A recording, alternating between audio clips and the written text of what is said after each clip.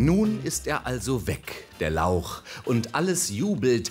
Dann geht Horst Seehofer auch. seine Augen ganz feucht, steht traurig darum, ist menschlich enttäuscht.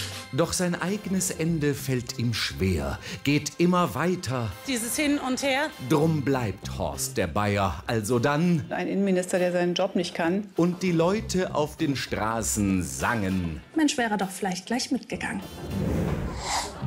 Und nun schlechte Nachrichten von der SPD.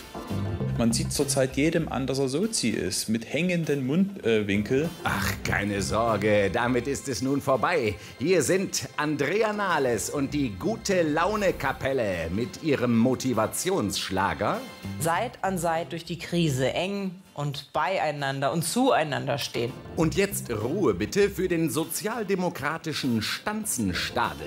Wir haben uns heute hier untergehakt. Wir werden uns öffnen. Wir diskutieren. Wir haben viel zu tun. Wir setzen auf die Kraft des Zusammenhalts. Wir wollen es wissen. Dann setzen wir uns zusammen. Dann diskutieren wir das. Darüber haben wir eben auch abgestimmt. Grundsatzdebatte, Diskussionspapier. Das ist die SPD. Jawohl.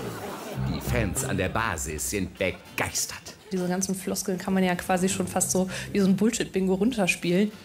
Vielen Dank. Vielen Dank. Danke sehr. Bitte sehr. War sonst noch was? Ach ja, dieses interne Gutachten der AfD, damit die nicht vom Verfassungsschutz beobachtet wird, seien künftig Extremistische Reizwörter wie Umvolkung, Überfremdung, Volkstod oder Umerziehung zu vermeiden. super Empfehlung. Dann hören sich Gaulands Reden bald so an. Herr Präsident, meine Damen und Herren.